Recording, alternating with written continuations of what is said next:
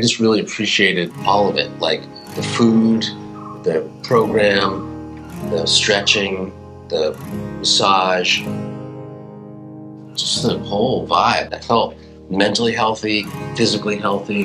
Being able to talk about surf with people that don't get bored about talking about surf is really technical but it was very visual. So we would see the videos and we would get the coaching. And, you know, I think we have a foundation. It's not a way that we can get better, a way that we can enjoy it and then and then work our way through it. And then uh, we'll eventually come back here and try it all again. Feels like a once in a lifetime trip. You don't have to be carrying your phone around. We get pictures of me and Talia the whole time. So now we have these memories of us out on the water that we would never have. It was super impactful.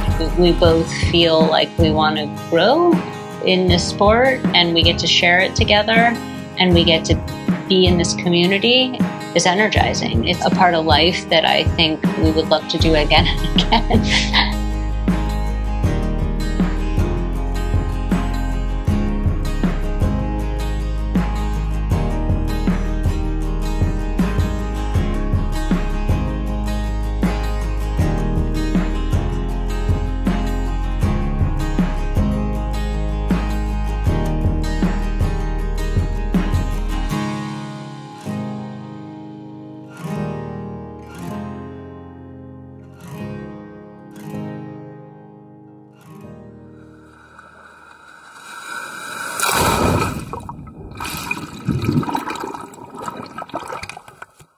The first time I ever surfed was in New Jersey at a lesson. It was a classic, you know, here's the board, you stand up, we push you, and you catch the wave. And as basic as that was, as soon as I felt the the power of the wave moving the board, I knew it was different. And I knew I was hooked. I wanted to learn how to actually, you know, move around and, and master the wave and catch that energy and it was just a feeling unlike any other sport that, I, that I've been in. Our parents just told us we were taking surf lessons and we had to get up really early, but I just remember getting there and feeling so cool in my wetsuit. And I also remember just the first push and just standing up and being like, oh wow, I just did that. I started my first lesson uh, on my honeymoon.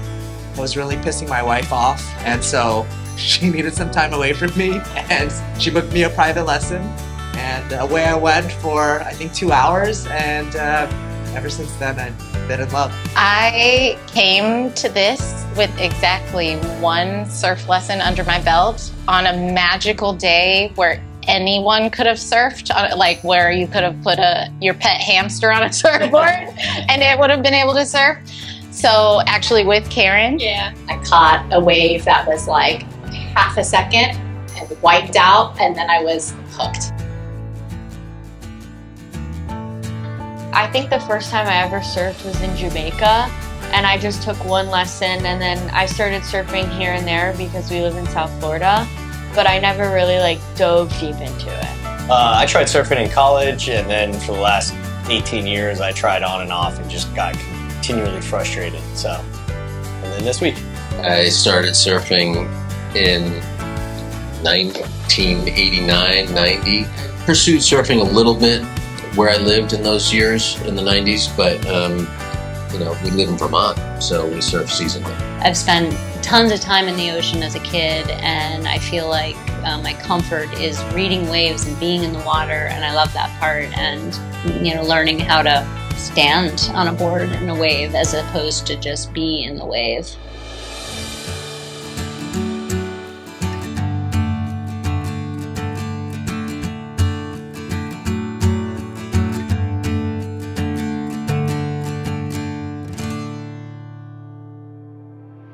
My coach was Amaya and super patient. The last thing we started working on was uh, just continuing to uh, look, lean, and lift, and then angling into the wave. I loved my coach. He was awesome. I learned so much, like from the basics of surfing, like how to stand, and then eventually catching waves and now like angling to get onto the waves, and it was a lot of fun. We had Jessie, and she was the absolute best. We've been surfing for over 10 years and there was some stuff that she explained to us that I'd never even thought of before. When you go to surf a wave out here, one that's behind you, we're probably gonna have to move our feet back and then go for the turn.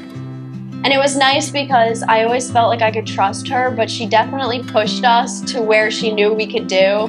If I thought a wave was too steep, she would be like, just go, don't think, just go. And every time I went, I would catch it and it would be the best wave ever. She was the perfect combination of like light bulb moments and just positivity. I have 30 years of self taught surfing, and now I'm learning how to surf correctly. Will um, was my coach this week. Working with him um, allowed me to see where my body weight and where I'm looking, how high I'm angling my takeoff. We have the same coach, so we were, I'll speak. Um, well, first I started off with Derek. He was just so like encouraging and positive that I think it just started me off on a good foot. And then Ollie, don't even know what to say. He's just an incredible teacher. He was an amazing communicator. He was like emotionally there, technically there. We just, I can't, I could go on for a thousand years. He's he's one of those people that can really break down why you're making mistakes and give you tools to work on them. And I felt like he read our minds a lot in terms of Yeah. where we were, our mood. Honestly, it was such a blessing to have him. I have Gabriel. He was so special.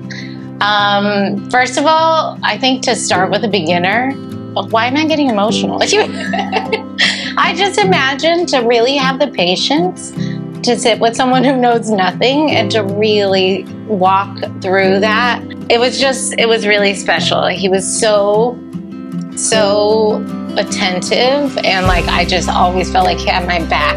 But he was somehow not just making me feel comfortable on the surfboard, he was making me feel comfortable in this environment where I, I don't know myself, right? So he was just such a champion and I just feel like he was my number one fan all the way through and always inviting me to dance at the end of at the end of all of my waves. So it was great. It was special. Yeah, it really was. I loved my coach so much. He loved his coach. I think everyone was happy with who they were paired with. They managed to be really technical and like tell us all these things we wanted to correct without making it this like heavy, you're doing stuff wrong. Like there was just kind of a beautiful balance of like have fun and still work on these things that I think was really very much appreciated. We've had such a great group. Um, and I think a special one. We've had really deep conversations and shared things about our personal lives. I mean, it's fascinating. We're what, 10 people that have never met each other, and there was just so much commonality. You know, I don't think there was ever a point where we felt like there wasn't something to talk about. And what was cool about it is as the trip progressed, everybody was cheering for everybody else. Somebody would get a wave, everybody would, you know, put their hands up and scream. It was so unique because then you genuinely are so happy for everyone when they improve too.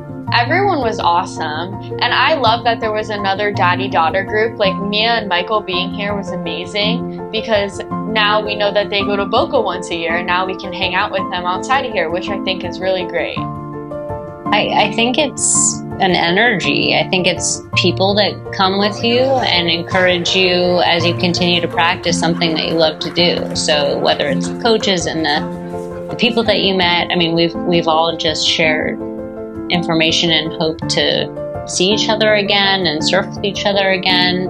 It's tools that we can work on and relationships that keep us engaged and sort of inspired to continue the sport.